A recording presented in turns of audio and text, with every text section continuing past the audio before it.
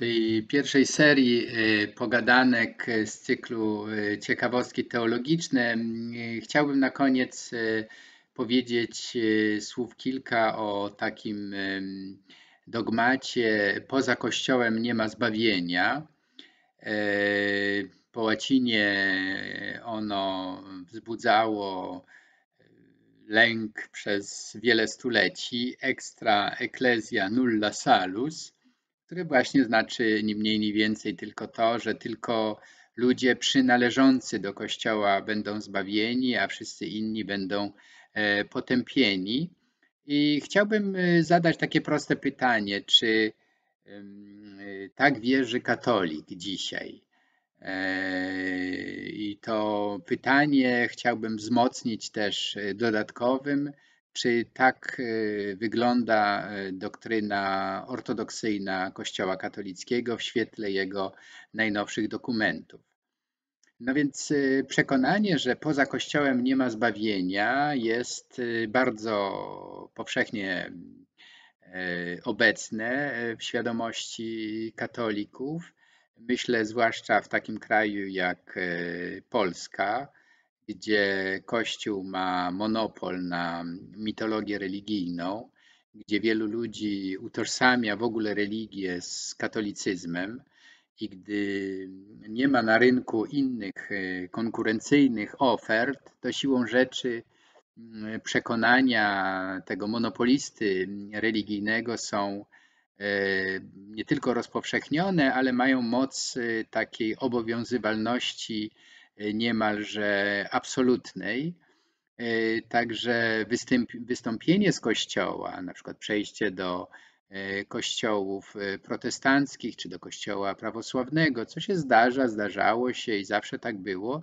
Dla wielu katolików, rzymsko, rzymskokatolików, to jest jednoznaczne z utratą perspektywy zbawienia.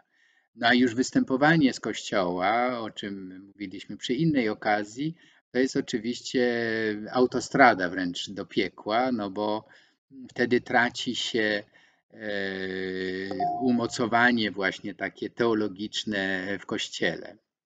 Sądzę, że e, ten dogmat, który ostatecznie stracił na swojej sile wraz z Soborem Watykańskim II, więc tym kilkuletnim namysłem e, teologów, e, biskupów z całego świata, w którym doszło do głosu takie bardziej, powiedziałbym, ekumeniczne podejście, tolerancyjne wobec innych wyznań chrześcijańskich, wobec innych religii, to przekonanie zostało osłabione.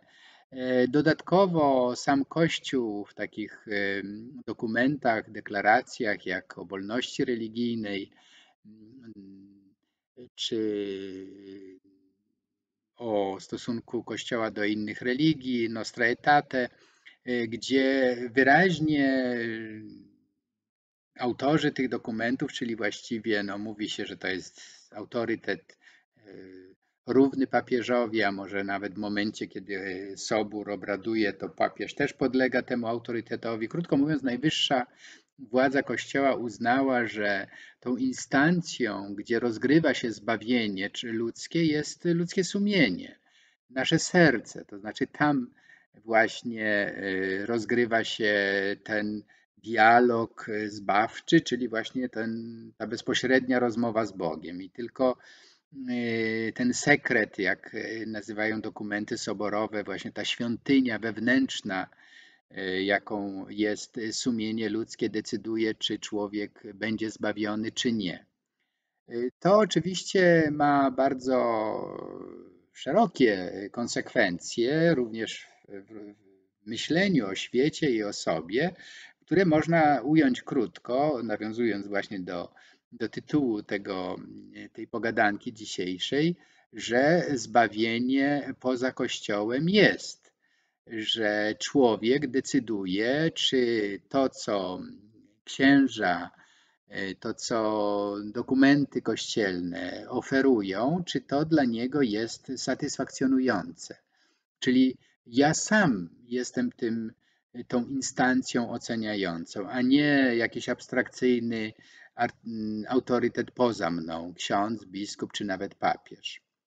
Czyli można powiedzieć, że e, podobnie jak inne e, dawniej mocno obecne w wyobraźni religijnej e, katolików przeświadczenia, jak to, że, że piekło jest wypełnione właśnie wrogami Kościoła, Podobnie ten aksjomat, kiedyś traktowany z ogromną powagą, że poza Kościołem nie ma zbawienia, trzeba również odesłać do lamusa historii i powiedzieć, że e, poza e, Kościołem zbawienie jest. I to ja decyduję, co mnie zbawia. I tutaj to pozwala również e, spojrzeć w sposób bardzo krytyczny na te mm, środki, które miały prowadzić do zbawienia.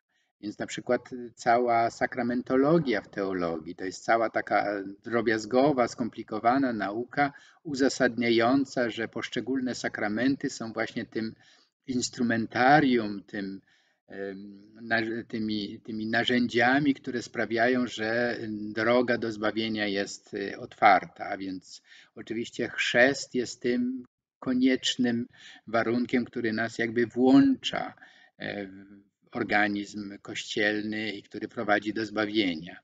No tutaj y, y, można dyskutować, czy ta teoria jest słuszna, czy nie, ale w każdym razie już w latach 50., 60., y, taki słynny teolog, który na Soborze właśnie Watykańskim II w pełni doszedł do głosu, Karl Rahner, niemiecki jezuita, głosił taką ciekawą teorię o anonimowym chrześcijaństwie.